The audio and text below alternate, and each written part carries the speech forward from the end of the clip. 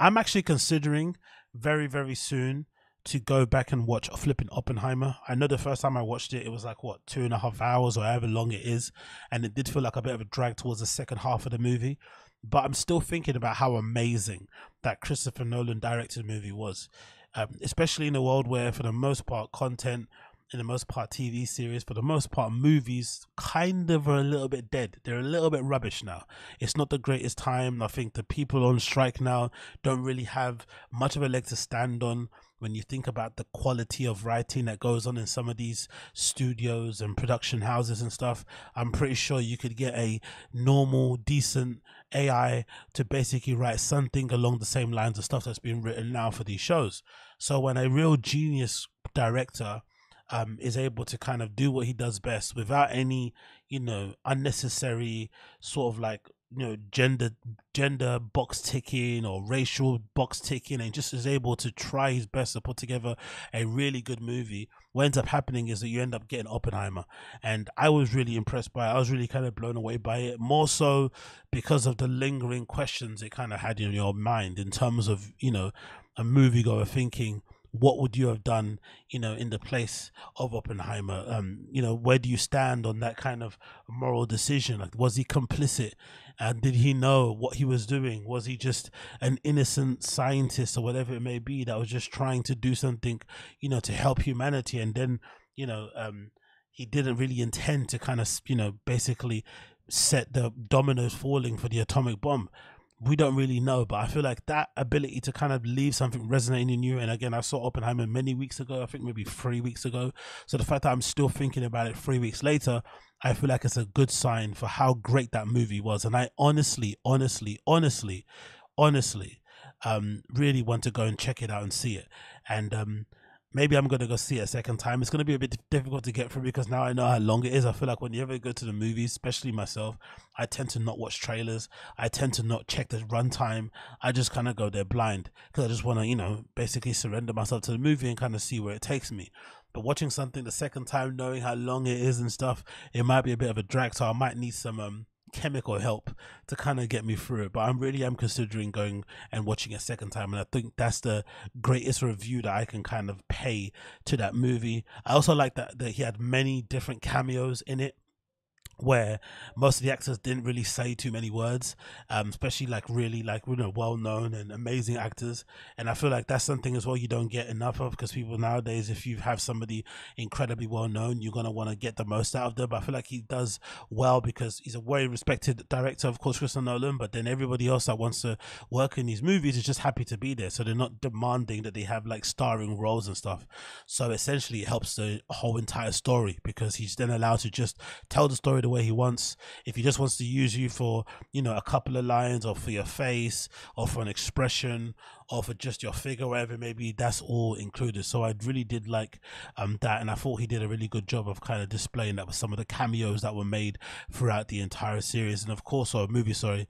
And of course Cillian Murphy. I think that people are calling it's a thing that his, his name is not pronounced Syrian, right? It's called like Killian or something. I forgot how the, you meant to pronounce his name, but the guy who plays Oppenheimer is fantastic. More so for the non-dialogue scenes, like the play, you know, the scenes where he's able to kind of emote anguish and torment. I think that's the. I I'm sure those are probably like acting class 101 things that you do when you first try to you know become an actor when you go through classes i'm sure that's one of those exercises you do in the beginning to try and express emotion without saying words. But jesus christ he does it really well to the point where now his face that anguish sort of face is now become a meme in itself that people are now using all over social media that goes to show just how powerful that whole entire scene was and how much it resonated with people. Um still to this day i think the most you know the funnest or the one of the best scenes I actually like two of them was a scene with Casey Affleck's act um role. Casey Affleck plays some guy I think who's from the FBI. Is it from the FBI or something? No, FBI. Forgot where he's from, but he's a general. But I guess he's like you know he's involved in the dark arts. Let's say he's somebody that's obviously an expert in torture and all that kind of stuff, right? Or maybe information extraction or something. You know, some sort of like PC or like non brutal way that they describe in a movie and that Casey Affleck role, the way he's able to, um, you know, exude terror and fright without actually being super threatening, without being physical, without shouting really loudly. But you can tell he's a dangerous man. You can tell he's somebody that Oppenheimer doesn't want to get on the bad side of. And I feel like he did that amazingly. So that was a brilliant scene.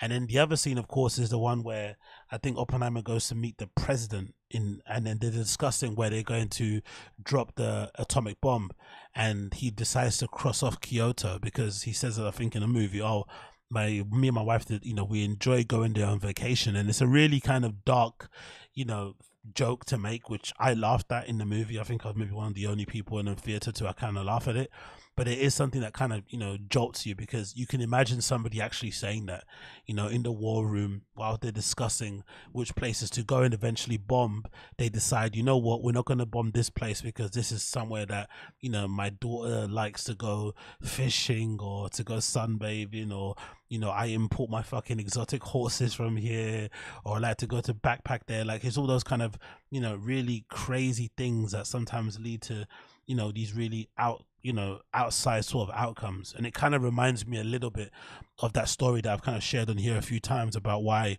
a lot of the for a lot of the kind of field raves in london or in the uk in general kind of got shut down and why there was there's a lot of laws around like you know gathering of people in certain places. Because I think the story goes somewhere along the lines of sometime in the 80s or 90s they threw a field rave somewhere. And unfortunately the place where they fit, they threw it was at an estate or the grounds of somebody very high up and that person had connections with people in the government and they basically you know were pissed off that all these ravers came and destroyed their fields. And um, after that one occasion they put into action loads of laws and restrictions that basically made it pretty impossible to have really large kind of quote unquote illegal gatherings of these field raves. So all it took was just one minor occur one minor inconvenience for somebody um, very high up, and that completely changed the course of history when it comes to um, dance music and clubbing and whatnot in in London. Because obviously that does have ramifications to like opening times or whatever it may be, and you know it kind of keeps rumbling until now. So it's kind of eerie to see that guy be so flippant and basically rub off Kyoto because it's just a place that him and his wife like to vacation. Absolutely crazy. But um, again, like I said, great movie. Would definitely watch it again. If anything of a slight sort of um feedback or slight sort of thing I'd say. Maybe the second half of the movie um, is the best part maybe I think especially if you're coming in there blind and you don't really know much about Oppenheimer and the history of the atomic bomb and whatnot. But um, I still think the first half was great, and I, and I love the fact that I really, really, really, really, really, really love the fact that um, what they end up doing is that they avoided trying to overly explain everything to you. I love that in the movie. They just kind of dropped you into the deep end. I thought that was really important.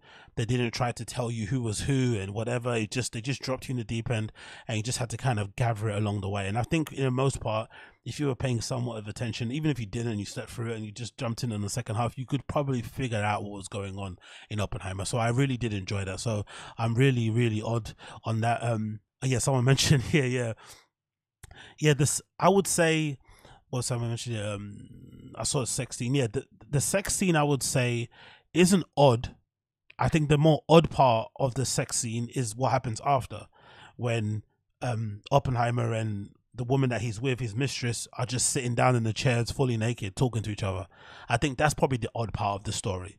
I think the sex scene kind of is what it is. I think it, he does it fairly well in that regard, especially in the context of the whole movie. Him that being the mistress and them having a very kind of you know physical relationship where they kind of can't keep their hands off each other. But i think just the scene of them just sitting down after the fact with their fucking you know pussies and their balls on these you know on these very gaudy looking chairs in the hotel it's just a bit i mean like the first thing I'd want to do is get a pair of under, get some underwear on, or put uh, just put a towel on, or a bathrobe. I mean, it just feels a bit odd that they're just sitting there with their fucking, you know, with their gnashes out, having a bit of a chin wag after they're just done banging. That was the only strange bit of the whole entire thing. But I thought overall, um, they did it fairly well. It came across really good and legitimately, like I said, I'm definitely, definitely considering watching it again. But I'm just a bit worried about the runtime and whether or not I might go back there and actually be bored. You know, actually think, you know what, maybe this isn't the place for me. Maybe I should be staying at home. But I still do want to watch Barbie too. I haven't watched that yet. I think that's still on the list to go and check out. And I think, as per usual, I would also like to check it out when I'm there. You know, I don't want to go and so I, I would want to check it out in the cinema. I don't want to watch this like on HBO Max or something. I think a movie like that deserves to be watched in the cinema or just not at all, personally. Or maybe it's a movie where I think a lot of people will end up watching Barbie on, on the plane when it does eventually come out on streaming services. It'll probably be available on planes, and I think a lot of people will probably end up watching Barbie on the plane and figuring out, oh, this is actually quite a decent movie. Um, so that probably might happen. But again, I personally would rather that it be um, seen in the cinemas if possible. But we'll see what happens, and we'll see what happens. That's